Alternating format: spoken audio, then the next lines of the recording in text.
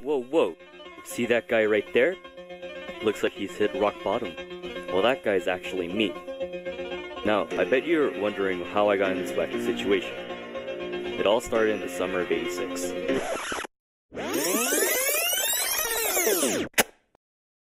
This is Chris Wondolowski in his earlier days. Here he had no idea that he would one day become the best to ever play on American soil.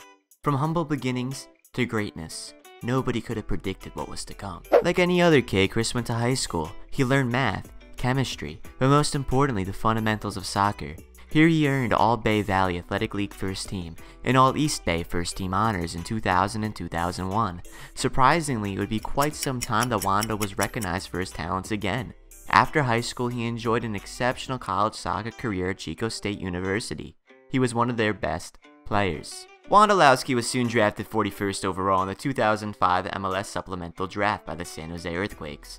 He would go on to make only two MLS appearances for San Jose in 2005.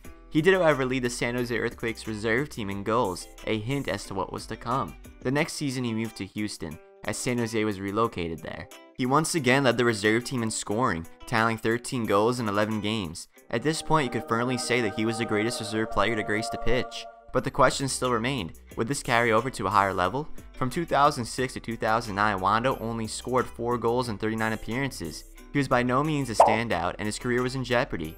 In 2009, he moved back to his native land of San Jose, and this is truly where the underdog story turned to a top dog story.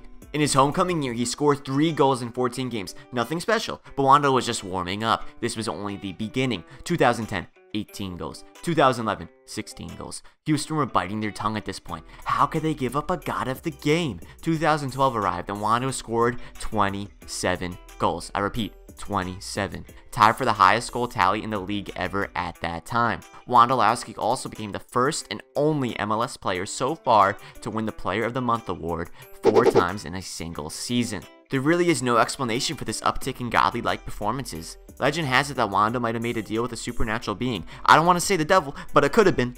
Sources though still not confirm whether this is true. Where's Wondo? Again scoring double digits in 2013 and 2014.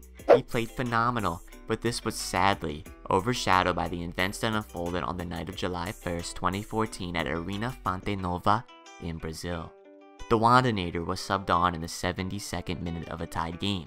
Flash forward to the 93rd minute, sure to be the final chance of the game. Wondo has it on a silver platter, and he fumbles it. God damn, he fumbles it. The moment it mattered most, he shanked it.